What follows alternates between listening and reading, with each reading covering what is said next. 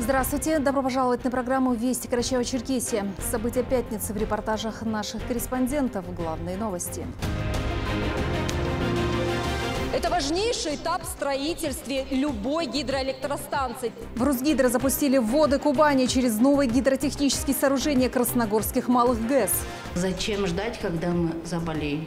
Защитить себя и своих близких все больше жителей Карачаева-Черкесии желают сделать прививку от коронавируса.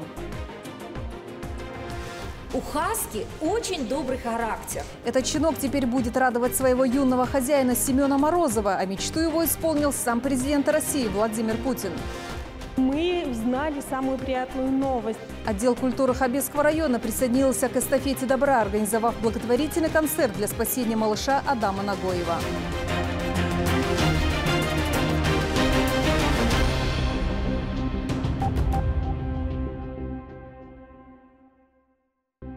Гидроэнергетика становится ведущей отраслью промышленности в Карачаево-Черкесии. В республике продолжается строительство двух красногорских малых ГЭС. Сегодня состоялся переход к более интенсивному этапу строительства. С церемонии перераспределения потоков воды реки Кубань через новые гидросооружения. Репортаж Альбины Ламковой.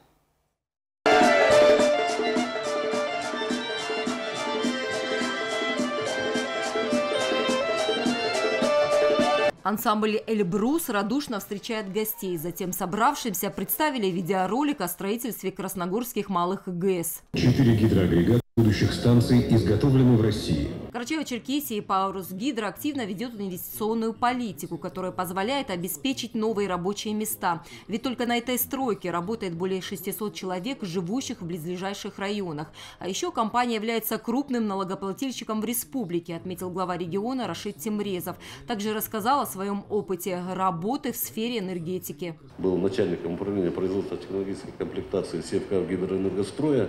Для меня это все близко, и я знаю э, вообще труд строителей, э, очень важный, а особенно, так будем называть, гидростроителей.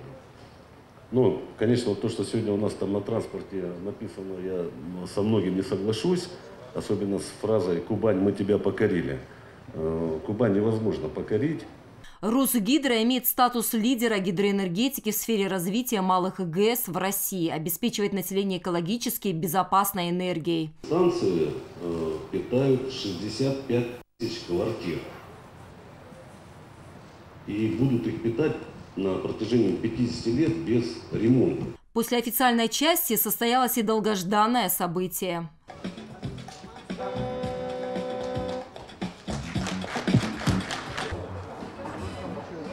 Надо сказать, что преобразование на ГЭС никак не повлияет на экологию в республике. Качество воды не испортится? Качества воды нет. Э, фактически вода э, какого качества зашла в наше сооружение, такого же вышла. И э, здесь будет вестись ежедневный мониторинг. Здесь предусмотрены рыбозащитные сооружения, популяция рыбы здесь не уменьшена. Плюс для того, чтобы популяцию рыбы как бы увеличить, внизу по течению будет дополнительно ежегодно выпускаться мальки, тем временем на самом участке кипит работа. Строители возводят временную защиту, где будет проводиться процесс по дальнейшему запуску воды. В будущем гидроэлектростанции должны влиять только на стабилизацию уровня воды, оптимизацию ее режима в реке Кубань, что позволит увеличить выработку электроэнергии на уже существующих станциях. Строительство двух малых ГЭС началось еще в 2019 году и, согласно проекту, должно завершиться в 2022. А так поднимать плотину вот здесь будем, метр на метров, наверное, 30, э, насколько позволит э, местности. А там дальше котлован, это убираем, туда воду запускаем. Это важнейший этап в строительстве любой гидроэлектростанции. Теперь река Кубань течет через уже построенные гидротехнические сооружения, водосброс малый ГЭС, что дает возможность развернуть строительство здания с машинным залом второй малой гидроэлектростанции. При этом гидрологический режим реки не изменяется. Альбина Ламкова, Ислам Урумов, Вести, Карачаева-Черкесия. Сегодня глава республики Рашид Тимреза провел рабочее совещание с членами правительства по вопросу лекарственного обеспечения больных с сахарным диабетом. Министр здравоохранения доложил, что на данный момент заключены госконтракты на осуществление поставок для детей С диабетом на 5 месяцев. По итогам совещания проект бюджета на текущий год будет пересмотрен в сторону увеличения размера финансирования на льготные лекарства. Также принято решение запустить горячую линию по вопросам медицины, которая будет открыта на базе колл-центра 112. 8 миллионов россиян уже привились от COVID-19. Активно идет вакцинация и в Карачаево-Черкесии. Наша коллега Медина Джанкезова сегодня также пришла в пункт вакцинации. За несколько дней до этого она сдала анализ на антитела. Их не оказалось, и поэтому решение было однозначным делать прививку. Заполнив анкету и пройдя осмотр терапевтом, Медина успешно прошла данную процедуру и отметила, что очень важно сделать прививку от COVID-19, чтобы в первую очередь защитить себя и окружающих. Мы каждый день встречаемся с людьми, не хотелось бы их заразить, это во-первых. А во-вторых, вот кто переболел, э, ну тяжело болел, в ковид-центрах лежал, выходят, и я вижу через месяц, они поступают или в больницы, или лечатся в в поликлиниках становится плохо. Э, зачем доводить до такого? Лучше уж вовремя сделать прививку и уже жить спокойно. Во-первых, врачи говорят, что ковид сам по себе не пройдет, надо делать или прививку, или переболеть. Так зачем ждать, когда мы заболеем? И вести из оперштаба. Сегодня в Карачаево-Черкесии выявлено 12 новых случаев заражения коронавирусной инфекцией. С начала пандемии общее количество заболевших составило 19 886 человек. Из них 19 796 выздоровели, 132 человек госпитализированы. Но сейчас время прогноза погоды. Слово нашим синоптикам.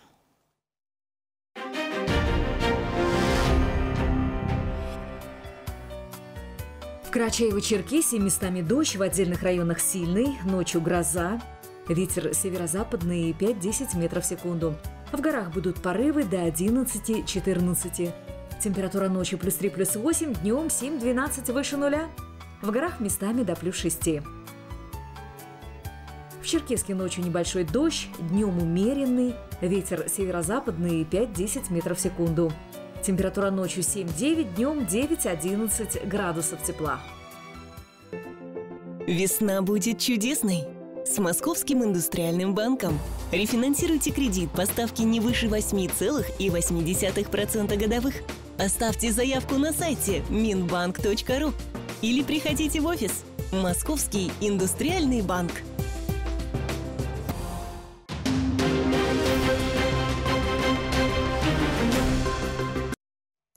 Это «Большие вести» в прямом эфире. Мы продолжаем. Во многом жизнь – это лотерея выигрышев, в которой распределяет судьба. И если сильно захотеть, то все исполнится. Житель Карачаева-Черкесии загадал желание, отправил видеообращение на прямую линию с Владимиром Путиным, и мечта семиклассника Семена Морозова из села Дружба сбылась. Светлана Шаганова расскажет подробнее о счастливом обладателе четырехлапого подарка. Еще в декабре Семен Морозов увидел по телевизору анонс прямой линии с Владимиром Путиным и решил записать видеообращение через приложение «Москва Путину».